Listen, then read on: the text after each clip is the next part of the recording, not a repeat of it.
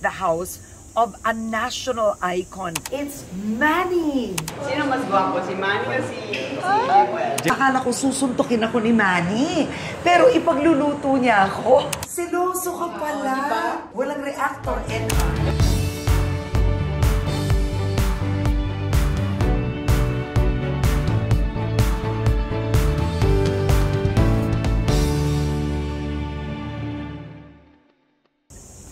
Welcome to my YouTube channel. Today we are going to visit the house of a national icon, a national treasure. Alam nyo, nagbago ang buhay ng taong ito. At dahil sa pagbabagong yun, isa rin siyang inspirasyon at naging mas mabuti siyang family man.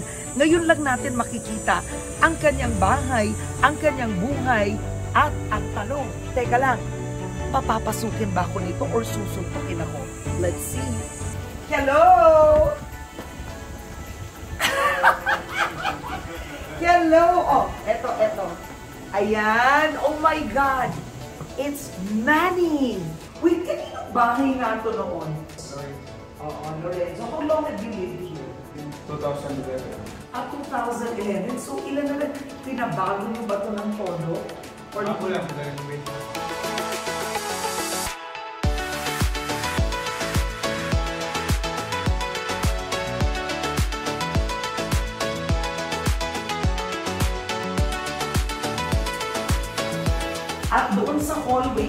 pagpasok mo ng bahay, kitang-kita ang verse of Joshua 24:15. No? Such a beautiful verse. So this is that, as for me and my house, we will serve the Lord. So talagang kita yung puso ng pamilya. Alam na ng lahat na ikaw ay national hero, senador. Pero bilang ama, paano ka nagbago? Nung araw, wala akong pakialam. I didn't care to my family, like tapos parkada, inuman, sugal, babae, lahat. Nandyan sa atin lahat yan nung araw. At ngayon, nawala na yung mga vices na yon and then may time na ako sa pamilya. Pag Sabado, Linggo, banding kami lahat. Paano ka nagbago? Ano yung dahilan at nagbago ka? God is good all the time. Binigyan ako ng puso na na-recall lahat ng mga ginagawa ko na grabing pagsisisi ko. Ilang bisis na ako umiyak sa Panginoon na patawarin ako. And sabi ko, Lord, kung ma- ibabalik lang sana lahat ng panahon, lahat ng mga kasalanan na nagawa ko, hindi ko gagawin yun. Ang Sabi ko, ang laki ng kasalanan ko na nagawa. What was the lowest point in your life bilang boksingero that you found Jesus Christ? Yung na-knockout ka. Hindi pa yon. Before pa na-knockout ako, kahit anong gawin ko, empty pa rin yung puso ko. Parang something wrong na hindi ko hindi ko maintindihan. Unexplainable na paano ba mapupuno itong puso ko. Then when I read the Bible, parang na- napupuno yung puso na tapos umiiyak ako sa mga na nababasa ko. When did you know that Jesus was in your life? Ano yung moment na yon that He proved real to you, meaning as your Lord and Savior, ah? Alam mo, sabi ko sa sarili ko, I am praying openly. I pray every day. No, I claim that I believe God, but what I'm doing is contradict doon sa paniniwala ko at ginagawa ko. Yung, yung pag-iinom, pangbabae, lahat mga vices ko na sabi ko, ginagawa ko yun. Tapos sabi ko, naniniwala ako sa Panginoon. How come? That I believe God and then doing these things. Ano eh, sabi nga ni Jesus eh, yeah, no one can come to me unless my Father draws them to me. Unless God give you conviction, then you will not understand. So dito, ano to, dito kayo tumatanggap ng mga bisita? Dito at saka doon sa kabila. Oo. Pero dito, anong ginagawa nyo ng pamilya nyo? Dito, banding kami dito. Ah, really? Who decorated your home? Jinky. Si Jinky talaga. Malaki rin binayaran ko. Sabi ko, sige, pumili ka na lang, ikaw na mag-design lahat yan. Oo. Pagdating sa bu- Oh, kilala ka dito sa village na namimigay ka ng tag-iisang libo. Mm. Patronage politics yun, ba't namibigay si Manny ng pera? 2004, 2005, namimigay na ako ng pera eh. At mabuti na namimigay. Ano ba gusto nila? Mag- Magnakaw ako o mamigay? Di ba? Ito naman, I love this. Ito, dining to or for guests? For guest. uh, Ah, for guests. Minsan dito rin pinapakain yung mga, mga bisita. Kailan to? How old were you here?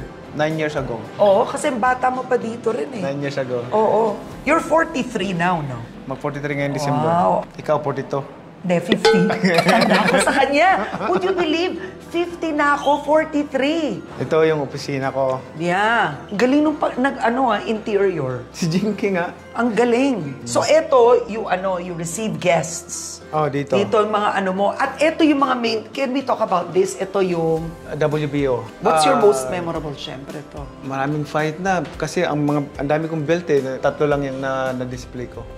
I was 12 years old, naghahanap buhay na ako. 14 years old, nagtrabaho ako dito sa Maynila. Ang income ko, 1,000 lang, construction ang trabaho ko. Nag-iisip ako paano ko ipadala sa mama ko. Sabi ko, pag ipinadala ko itong 1,000, wala akong pagkain papunta hanggang Friday. Nagsisweldo ako sa construction ng 1,000. Pagdating ng Saturday ng hapon, pumupunta ako sa Dangwa. Alam mo yung Dangwa? Yes. Yung 1,000 ko, ikakapital ko yan, bibili ko ng sampagita. Sabado ng gabi, nagtutuga ako ng sampagita, tapos inaalisan ko ng tinik yung roses, tapos binabalot ko ng dyaryo. Linggo ng madaling araw, nasa harapan ako ng ah, simbahan, nag- nagbibinta ng sampagita at saka roses. Tapos Sunday ng on time, maubos na yung sampagita ko saka bulaklak ko. Yung isang libo ko, magiging 2,500.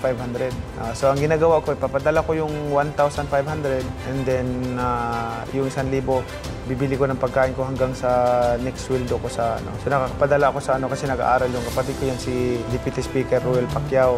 Ayusin ko yung anak ko. Sino mas gwapo? Si Manny o si Jewel? Jimwell. Malambing. Hello, hello. Wow, ang gwapo naman ito. Bakit ang mistiso mo? Sigurado kang anak mo to, dear? Parang hindi ako sure. Nahaluan lang ako ng ano. Parang, wow, foreigner. So, paano siya bilang ama? He's a good dad, good uh, role model, and syempre he's my ano talaga, my inspiration and everything. So Oo. he's a good dad. Nakabawi ka na dito, Manny. So, you want to be daw a boxer? It's one of my dreams. I don't know. It's just for me, it's a sport. So right now, I'm I want to be an amateur fighter. So uh, it's just one of my dreams. Yeah. So Oo, boto ka ba? Sinabi. Do you have a girlfriend na? yeah. I do. Nax, pumasa ba kay daddy? Dito, mabait naman. Nax, okay. Si Jimwell, ah, tahimik, mabait, at ah, hindi mayabang. hindi, hindi mga mayabang yan. Gusto niya mag-artista at ah, gusto niyang sumunod sa yapak ko. Pero gusto mo ba siya mag-artista? Nasa kanya yon um, ang pag-artista naman ay acting dumaan din ako dyan. Pero sa pinapaalala ko sa kanya, maraming mga temptation dyan. Remember, as a uh, Christ follower, there's a big signboard in your in front of you that Jesus Christ. Ganun na. Galing mo naman, grabe. Sabi mo, gusto niya maging boksingero, no? Gusto mo ba Boxing. yon? Yun totoo. Ayaw kong maging boksingero siya. Ang gusto ko rin yan dati yung magtulong-tulong sa mga tao, ganyan. Alalahanin yung mabuti. Pag natapos na yung buhay natin dito sa mundo, wala tayong madadala kahit piso. Habang nandito pa tayo, pag may pera ka, may kakayahan ka to help others, then do it. Pero you know, sabi ni Manny, when he found Jesus Christ, he became a better father. Do you agree? Nakita mo ba yung change? Uh, yes po. Kasi po parang uh, he's more into like disciplining us, especially when it comes to the Bible. Oh! Ito yung anak ko, ito yung anak ko na pati si Michael na nagpuyat ako, nagigising ako ng madaling araw para pa- magpadidi. Really? Naku, pag hindi mo ginanon yung duyan, iiyak. Really? Ah, malambing ka sa mga boys mo pa. Okay, yung pangalawa mong anak. Si Michael, ano siya, mahilig siya sa music. Gusto niyang nagkukumpo siya ng mga music niya, sarili niya. Very creative kid. Okay, and si Princess na. Si Princess naman, gusto niya eh magpastora. Really? Talaga? Oh, gusto niya magpastora and then gusto niya mag-medicine. Nagsuservice kayo together? yeah, basta Sunday, family yan. Tapos sabay kami mag, ano, attend ng ah, service. This is Princess! Hi, Princess! Hello! Sabi ng dad mo na gusto mo maging pastora? Oh my God, ang galing! Pero bakit? Where did you get? Bakit gusto mo maging pastor? Inspired ako kay daddy. Ang sweet naman nito. Oh my gosh. Ikaw naman, Queenie, na? Uh, what do you want to be when you grow up? Maybe a lawyer. I don't know. A lawyer. Oh, how is Manny as a dad? Uh, daddy is a very good ano, role model to us and you know, whenever we do something parang mali, he tells us that ano ganito. Wow. Hindi ba to namamalo? Hindi, na, never ka namalo? Hindi, ano lang, ah, pagalitan ko sila. Mag-usap kami, Alam mo, nag-uusap kami. So, pag sinabi kong wag yan, wag yan kasi aabot tayo doon sa ano, wag natin, wag tayo maabot doon sa ano. Dapat mag isang ano salita lang, makinig na kayo. O si daddy, ka- paano siya bilang daddy? Very kind and fun. He's fun. Okay, what makes him fun with him? Sometimes, fun, like, funny face na May funny face ka pala, may ganong peg. Anong edad kayo pwede magka-boyfriend? 18, 19. Mga 200 years old. Mga sabi niya, ay nako dear, pag 30 years old ka na magka-boyfriend. Bawal pa boyfriend ngayon. Ano yung mga bawal or anong pwede? Bawal yung ano, yung papakita ng mga legs kasi as a Christian, dapat hindi ka dahilan para ma-stumble yung ibang tao. Bata pa sila. Oo. Magpaalam sila sa akin kung mag magpaligaw na sila. I accomplish all uh, uh, material things in life. So, never rel- rely or Parang umasa na sa... aasa sa sarili mo na Yeah. because of your strength, because of your knowledge, because of your ability, that's why you have this all these things. Yeah. Alam mo sabi ng Panginoon, Oh. I'm the one who giving you that ability to accomplish all those things. Yeah. Sabi niya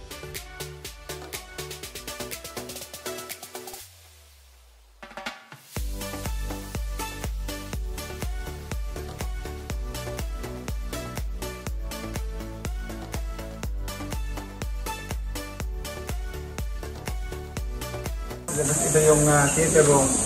Theater room. Ay, I like. Wow. Ang ganda ng pagka-design. Yung table. Oo, pero nagmamadyong ka, hindi. Kami, mga bata. Oh, for fun. Kami lang Oo, oo, oo.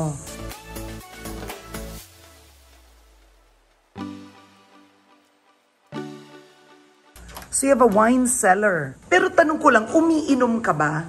Dito lang, wine-wine lang. Oo, pero hindi really. Ay, Oh, ganun. ano. Dito yung ano, pero hindi pa ako, Yeah. hindi nilagyan ng ano. Oo, not yet. Kumbaga hindi pa, hindi pa nalalagyan. Kasi, kasi you're not, you're, hindi ka drinker really eh. Hindi. Oo. Mahilig ka ba magtanim? Mahilig ko magtanim guys kung walang naman dito. Ah, nagtat ang ganda nito. oh. I'm curious, yung mga political meetings mo, dito ka nagmi-meeting or sa ibang lugar? Sa, sa opisina, sa ibang lugar. Ito yung kwarto, ito kwarto. Dito sa Israel eh. So meron silang outdoor parang ah, living room also tapat ng pool. Ang ganda nun, no? Nag-school. Wow. Hi, ate. Ay, ang cute. Nag-school ikaw? Okay. Just for a while, teacher. Ang cute. How old? How old are you? Seven. Seven. Nag-school? Ikaw nag-school?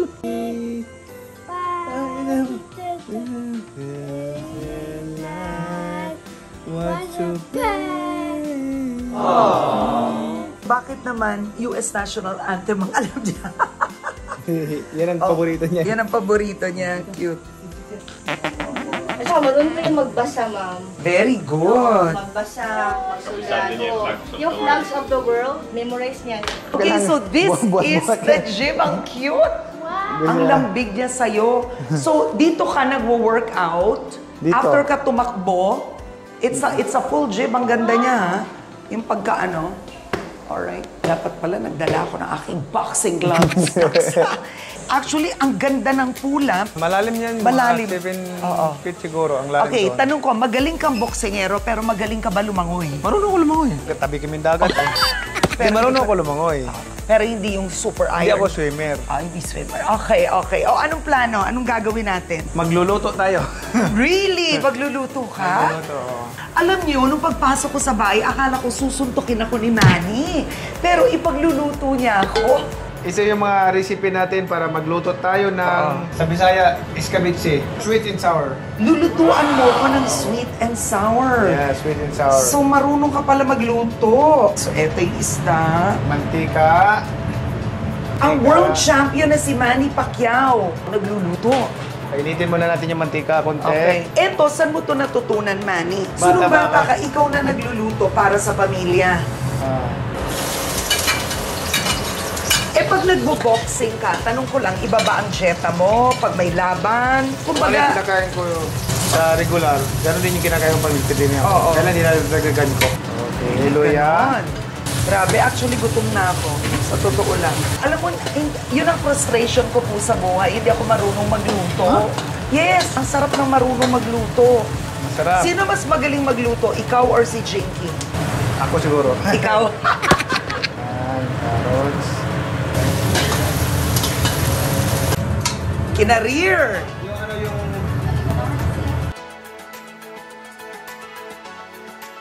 Thank you so much, Father God, sa pagkain at pagkasaluhan niya na nabigay ng lakas ng aming pangatawan. In Jesus' name we pray. Amen. Wow, tikman na natin ang Itong- luto ni Senator. Tignan natin kung ah, imahinasyon lang or talaga yung masarap siya magluto. Yes. Yan, thank you. So, sweet and sour to, ha? Mm. In fairness, ha?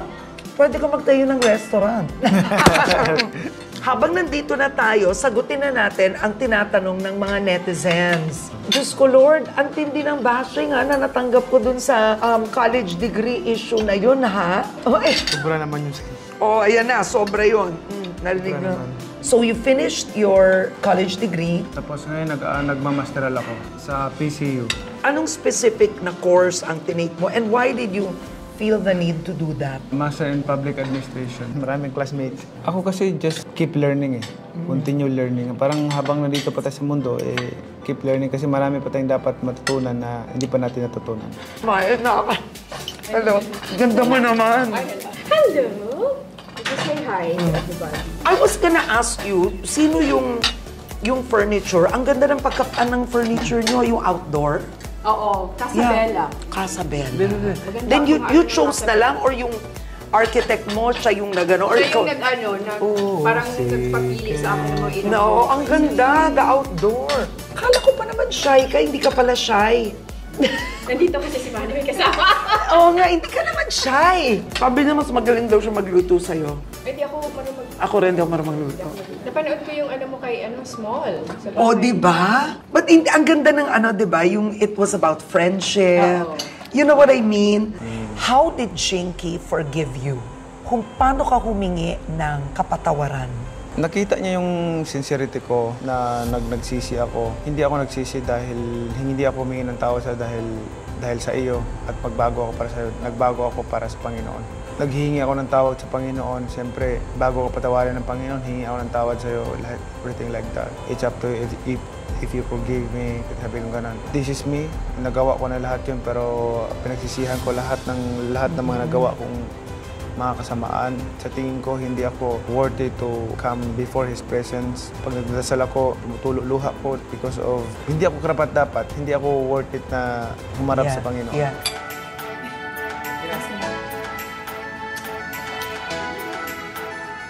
Nag-bonding kami ni Mrs. Gusto daw niya mag-workout.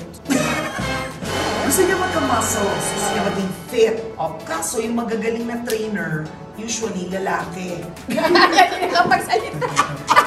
Ba't walang init? Ah, bawal. Kasi syempre sabi niya pag mag, ano, hawakan mo dito. Tapos Likod. may ganun. niya. Seloso ka pala. Walang reactor, NR. NR. Nagsiselos ka pa pala.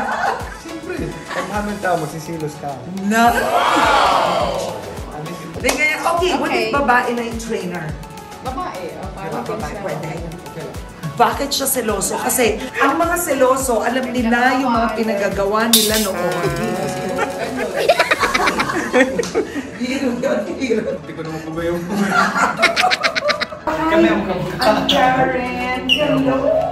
Describe your dad as a father. Paano siya bilang ama? I would say perfect. Oh, yan si perfect. Okay, why perfect? Like how? Perfect father. In what way? You know, emotional, spiritual, and like he has he has everything like a fa- like someone like a son would want. Father's Day message. Being a father, um, you have to establish as a, your leadership in the home. Ganun parang as a father, pakita mo na ikaw ay tatay at ipakita mo na ikaw ang padre de pamilya, na manage mo ng gusto yung household mo, yung pamilya mo, mga anak mo, pamilya mo, na napasunod mo sila ng tama. Doon kasi magsisimula eh. Yeah. Doon magsisimula talaga ang isang kung ikaw ay magaling na tatay o hindi.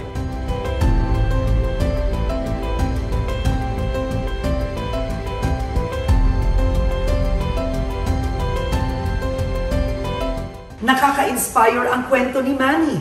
Patunay lang na lahat tayo ay pwedeng magbago. We can be better fathers, better mothers, better husbands or wives. Every day is actually Father's Day. Pero this weekend, make your dad feel extra special by letting him know that you love him.